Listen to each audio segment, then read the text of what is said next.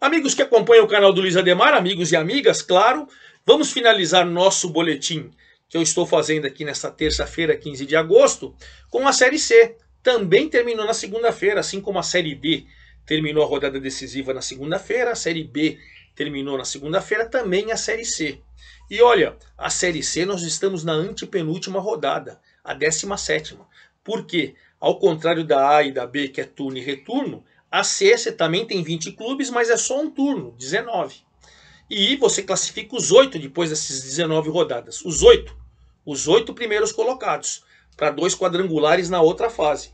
E os quatro últimos, claro, são rebaixados para a Série D. E tivemos mudanças significativas no G8.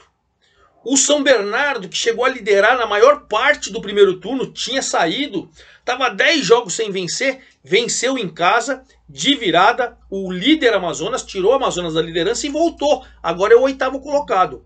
Ele voltou na vaga do Náutico. O Náutico que perdeu fora de casa, é, é, é, para o Paysandu e aí mandou embora o técnico Fernando Marchiori, é, já contratou o Bruno Pivetti, saiu, tá numa crise terrível, já que o Souza tinha brigado com o Marchiori, aí vem essa derrota, além de perder a vaga no G8, perdeu o treinador, já contratou oito, outro, né? E a situação tá complicada, hein? E complicado mesmo, Pouso Alegre e o Altos que já estão rebaixados. É, na antepenúltima rodada, o Pouso Alegre perdeu mais uma, o Altos também, o Pouso Alegre tem 12, o Altos tem 13, mas pelos confrontos que nós vamos ter aí na próxima, nas próximas duas últimas rodadas, Altos e Pouso Alegre foram rebaixados, só faltam duas vagas que ninguém quer para disputar a Série D o ano que vem, certo? Então é isso, vou falar de tudo isso para vocês. Lembrando que o Sasaki fez gol contra o São Bernardo, o Amazonas fez 1 a 0, São Bernardo virou, é o artilheiro isolado com 14 gols. Vou falar tudo isso, mas eu peço para vocês fazerem a inscrição e mandarem para os seus amigos fazerem as inscrições, também participarem das nossas jornadas, das nossas rodadas aqui na Série D, C, B, A do Brasileiro, no Paulista em todas as suas fases, agora a gente está na Bzinha do Paulista, na Copa Paulista, enfim. Tudo para você a gente vai curtindo, vai trocando ideia, vocês dão um, um likezinho e façam sua pergunta, dê sua opinião, dê sua informação, me ajude a fazer aqui o canal do Luiz Ademar, perfeito? Então vamos lá, que nós temos um novo líder, novo velho líder, porque ele já foi líder, é o Brusque, né? Um novo velho líder e o Brusque não só venceu com contundência o Altos, como rebaixou o Altos. Meteu 3 a 0 no Altos jogando em casa. Dois gols do Guilherme Queiroz, que vai brigando pela artilharia, vai subindo, subindo, né? E um gol do Everton Alemão, 3 a 0 contundente. O Guilherme Queiroz sonha 7 gols, o Sassá tem 14, o dobro, né? Mas aos pouquinhos, o Guilherme Queiroz, que teve uma lesão grave, um tempo parado e tal, voltou e já tá fazendo os gols e comandando aí o ataque do Brusque, que caiu o ano passado da Série B para a Série C e parece dar sinais de que quer voltar já esse ano. Já tô recuperado, tô pronto. Brusque agora é líder com 30 pontos. 30 pontos, subiu 3 posições, era o quarto colocado nessa rodada. 30 pontos, líder, mas ainda não está classificado, porque o Náutico é o nono com 25. Então você tem 6 pontos de disputa, ele pode chegar a 31. Mas está quase classificado, eu diria, praticamente classificado. Os mesmos 30 do Operário, que pelos critérios é o segundo colocado. Ele era o líder na rodada passada, mas nessa rodada conseguiu um bom empate, hein? Volta Redonda está dentro do G8, foi jogar em Volta Redonda, fez 1 a 0 com o Vinícius Diniz. Samuel Granada foi empatar por Volta Redonda aos 51 do segundo tempo. E aí tirou o Operário da segunda da, da, da liderança. E tirou a classificação antecipada do Operário também. Mas 30 pontos, perdeu a liderança, mas tem os 30 do Brusque. Se você for ver também, está praticamente classificado. Não dá para falar na matemática, mas eu diria que Brusque e Operário estão classificados. 30 pontos estão classificados. Numa situação maravilhosa. O Volta Redonda empatou, quinto colocado, 27, mas a dois só do Náutico. Não pode vacilar. Não pode vacilar, mas ele está estabelecido aí faz um bom tempo dentro do G8, certo? O Amazonas, que também já foi líder, na rodada passada era o vice-líder, e aí agora é o terceiro colocado ao perder do São Bernardo em São Bernardo do Campo por 2 a 1 de virada. Detalhe que o Sassá fez 1 a 0 logo no primeiro minuto do segundo tempo. E aí o São Bernardo, que estava com jejum de 10 jogos, pô, liderou, liderou, liderou. Essa derrota estava praticamente tirando da briga aí o São Bernardo. Mas não é que o São Bernardo empatou com o Robson aos 20 e aos 44 João Carlos artilheiro de cabeça 2 a 1 e colocou de novo na briga. 1.238 torcedores apoiaram lá o Tigre do Grande ABC, a virada que o colocou, ele, tava, ele subiu quatro posições. De 12 virou oitavo, voltou para o G8, 25 pontos. E olha, agora está dependendo só de si para se classificar para a próxima fase. Né? O Amazonas, apesar da derrota, perdeu, caiu uma posição, mas tem 29, está quase classificado também. Quase, quase. Acho que na próxima rodada a gente resolve pelo menos umas quatro vagas. Enfim, o Amazonas é o terceiro com 29, os mesmos 29 do quarto Botafogo da Paraíba.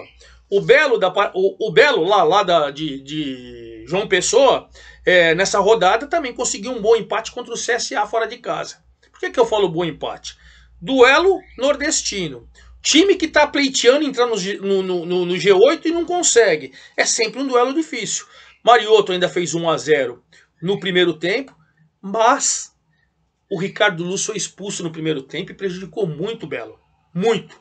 Mas mesmo com um a menos e tomando o gol de empate né, do Júnior Todinho, que tinha tomado com 31 do primeiro tempo, com um a menos, o Botafogo conseguiu um empate sensacional. Time do Felipe Surian, o Belo conseguiu um empate sensacional.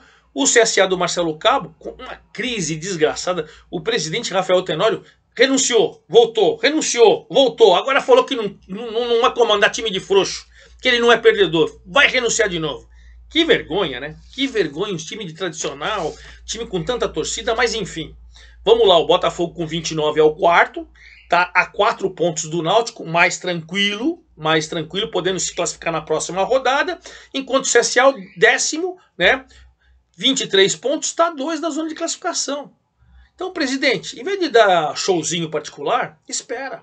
Faltam duas rodadas, apoia. Penso assim, né? Mas vamos lá. O Volta Redonda que eu falei para vocês que empatou é o quinto com 27. E o Paysandu subiu da oitava para sexta colocação. Como vem crescendo, hein? O Paysandu na mão dos elos dos, dos anjos. Olha, tá de parabéns, hein? Nessa rodada ele meteu 4 a 2 em cima do Náutico. 4 a 2 Detalhe, o Náutico fez 2 a 0 com dois gols do Berguinho. Com 22 minutos do primeiro tempo, 2 a 0 dois gols do Berguinho. Ah, o Náutico que que é isso? O Paysandu descontou com o Ronaldo Mendes ainda no primeiro tempo. O Kevin empatou aos 18. O Vinícius Leite empat... virou aos 32. E o Roger aos 49 meteu 4 a 2 Crise no Náutico. Náutico sai do G8, o Fernando Marchiori demitido, aí já contrataram o Bruno Pivetti para tentar o tudo ou nada, mas para o Paysandu é só sorriso, virou sexto colocado com 26 pontos, respirando aliviado ali dentro do G8, embora não possa vacilar, claro, né? Claro. E aí o Náutico agora é o nono com os mesmos 25 do São Bernardo, os mesmos 25 do São José, mas nos critérios ele é o nono colocado hoje estaria fora, certo? Já o São José, sétimo colocado, fez é, é, é um, comandou um empate 3 a 3 com o Figueirense espetacular, hein? Bom para ele que ele se manteve no G8 e bom para ele também que o Figueirense, um dos pleiteantes, ficou também lá, continua fora do G8 lá, lá, lá, lá embaixo. Figueirense chegou a fazer 1 a 0 com o Elias no primeiro tempo. O Rafael Car é, Carvalho empatou para o São José. O Taylor fez 2 a 1 para o São José. O Léo Baiano empatou pro, pro, pro Figueirense. Aí o Taylor, de novo, aos 28 do segundo tempo, fez 3 a 2 pro Zequinha lá em Porto Alegre. Mas o Renan Barnabé acabou empatando o jogo. É, resultado desse 3 a 3 emocionante. São José, sétimo com 25, continua dentro do G8. E o Figueirense em situação muito delicada. Ele tem 21, é o 14. Se ele somar os 6 pontos, ele vai a 27 pouco provável que se classifique. Tem que ser um milagre. Mas ainda tem chance matemática. Vamos aguardar, né? E aí a gente fecha o São Bernardo, que eu falei que ganhou o oitavo com 25, e o Náutico que perdeu o nono com 25. CSA que empatou 23 é o décimo. E o Ipiranga, que jogou ontem, segunda-feira à noite, poderia entrar no, G4, no G8 e tirar o São Bernardo. Mas apanhou, apanhou do Floresta. O Floresta com gols do Romarinho e do Thiago Goiano, manteu 2 a 0 é, no Ipiranga. E para o Floresta foi uma festa terrível porque o Floresta saiu da zona do rebaixamento. Ele foi para a 16 colocação com 19 pontos e colocou o Manaus. Manaus voltou, Floresta saiu. E o Ipiranga com 22 caiu duas posições, é o 11, está em situação um pouco mais delicada, né? Ainda tem chance matemática, claro. Assim como Confiança, que também tem 22, mas foi jogar lá em Aparecida de Goiânia com a Aparecidense e perdeu de 1 a 0. Rafael Luz fez o gol 51 do segundo tempo. Resultado que praticamente afasta aí, né? Aparentemente o Aparecidense da zona do, de, de, da, do rebaixamento, porque ele está com 12 com 22 pontos, cresceu, 13 terceiro, desculpa, com 21 pontos, cresceu consideravelmente, e o Confiança com 22 é o 12 segundo. Tem chance em matemática classificar? Tem, mas está difícil. Mas pelo menos acho que para o rebaixamento, né? Aí a gente tem Confiança, então, 12 com 22, Aparecidense 13 com 21, Figueirense, que empatou 14 com 21, os mesmos 21 do Remo, que também agora ficou numa situação mais difícil. Ele empatou com o Manaus, lá em Manaus, por 1 a 1 é, Elton fez do Remo, Thalisson fez para o Manaus, mas o resultado não foi bom para ninguém. O Manaus, com o empate, voltou para a zona do rebaixamento, 17, jogou em casa, né? E para o Remo, ele com 21, ele está ali na 15 colocação. Ele tem que mais ficar preocupado lá com zona do rebaixamento do que com G8, que para mim já deu, né? Floresta que venceu ontem 19. Aí você tem o Manaus com 18. O América de Natal que rebaixou o Pouso Alegre em casa venceu. O América de Natal venceu. Com contundência, ele pegou e eliminou o Pouso Alegre ao fazer 2 a 0 O Rafinha e o Wallace Pernambucano marcaram no segundo tempo. O, o Pouso Alegre, que está sendo comandado agora pelo Juarez Leite, né? É, já caiu. E o Dado Cavalcante está tentando fazer com que o América não caia. Ele tem 18 pontos. Essa briga promete. Faltam duas rodadas apenas. Duas rodadas apenas, lembrando. Então, Pouso Alegre e Altos já eram. Aí ali, América e Manaus estão na zona do rebaixamento. Aí você tem o Floresta com 19, que está muito perto ali. E tem a turma com 21 que tem que ficar cuidado, tem que tomar cuidado. Remo, Figueirense e Aparecidense. Então, essa briga promete nas próximas rodadas. Bom, lá em cima, Brusque 30, Operário 30, Amazonas 29, Botafogo da Paraíba 29, Volta Redonda 27, Paysandu 26, São José 25, São Bernardo 25. Fecham os G8, estariam classificados mas tem que ficar esperto que o Náutico também tem 25, o CSA tem 23 e tem a turma do 22. Piranga Confiança, então também promete ali, né? Os primeiros quatro colocados, Brusque, Operário, Amazonas e Botafogo da Paraíba, acredito que se classifiquem nesse próximo final de semana. Vamos encerrar o vídeo então falando inclusive desse próxima rodada, né? É uma próxima rodada que é a penúltima, uma próxima rodada que promete muito, porque devemos ter mais definições, por enquanto só dois rebaixados. Vamos lá, vamos lá. Sábado, 16 horas. O Belo, lá em João Pessoa, pega o Confiança. Se o Confiança quer ter alguma chance de, na última rodada, brigar por classificação, vai ter que vencer. O Belo, empatando ou vencendo, está classificado. Sábado, 16 horas, mesma coisa vale para o Brusque com o Náutico. Brusque defende a liderança, empate e vitória, não só a vitória da liderança, né, como a classificação, o empate também da classificação. O Náutico saiu do G8, se perder, segue fora do G8, né? E aí, e aí vai ficar numa situação delicada. Mas se vencer, provavelmente ele volta pro G8. Jogão, hein? Sábado, jogão. 19 horas, a mesma coisa vale para o São José e o Amazonas. São José joga em casa, ele é o sétimo com 25, defende a sua presença ali no G8. E o Amazonas também é o terceiro colocado, empate e vitória, o Amazonas se classifica no sábado. Sábado ainda 19 horas, o rebaixado Altos pega o Operário que briga pela liderança e empate ou vitória, o Operário garante sua classificação. Domingo, 16 horas, CSA e Remo.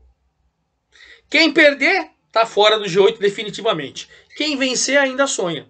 Então é jogo que vai decidir o futuro de um dos dois que vai ficar fora na última rodada. Olha que jogão no domingo, 16 horas. O Manaus, que entrou na zona do rebaixamento com 18 pontos, enfrenta o Floresta, que tem um ponto a mais e saiu. Floresta saiu, colocou o Manaus. Agora eles medem forças. Se o Floresta vencer, eles praticamente se salvam. Praticamente se salvam. Mesma coisa o Manaus. Se o Manaus vencer, ele sai da zona do rebaixamento, é certeza e empurra o Floresta. Jogão, hein? 19 horas de domingo, volta Redondo e Figueirense.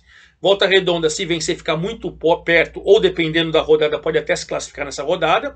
E o Figueirense, se não vencer, tá fora. Tá fora e vai ter que tomar cuidado na última rodada com rebaixamento. 19 horas do domingo também, Paysandu e Pouso Alegre. Paysandu, se vencer em casa, pode ficar muito próximo da classificação, ou dependendo da rodada, até se classificar. Pouso Alegre já caiu.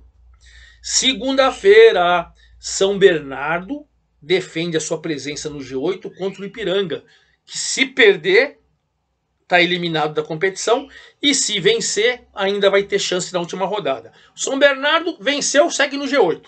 Do segunda-feira, 8 horas. E segunda-feira, 8 horas, América de Natal, jogando na Arena das Dunas em Natal, enfrenta a Aparecidense. América de Natal, dependendo da combinação de resultados aí, se ele vencer, ele pode sair da zona do rebaixamento. Porém, porém, se ele perder, ele também corre o risco até de cair nessa rodada. Dependendo da, da rodada, claro.